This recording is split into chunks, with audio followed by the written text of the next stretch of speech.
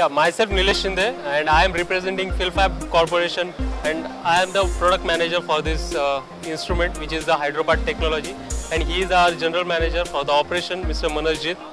Uh, Water Today Expo is uh, very nice like we are getting uh, two good uh, potential inquiries since last uh, two days and we are very very keen to associate with the Water Expo in next year as well.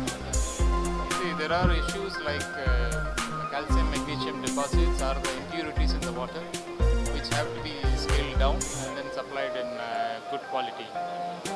Basically scaling issues. Scaling issues at their piping system, cooling tower, heat exchanger, boilers, these kind of the scaling issues, the industry as well as the uh, residential purpose, they are facing the problems. This is the new product that we, that we introduced in this year, which is the Hydropath, and it is uh, manufactured at Hydropath uh, UK. Since last 22 years, they are manufacturing and supplying all over the world. Uh, we are getting uh, very good potential visitors. Most of them are the dealers. Uh, those are supplying to the domestic uh, market for the residential as well as the agriculture purpose. But still, we are getting some industrial purpose visitors as well. Thank you.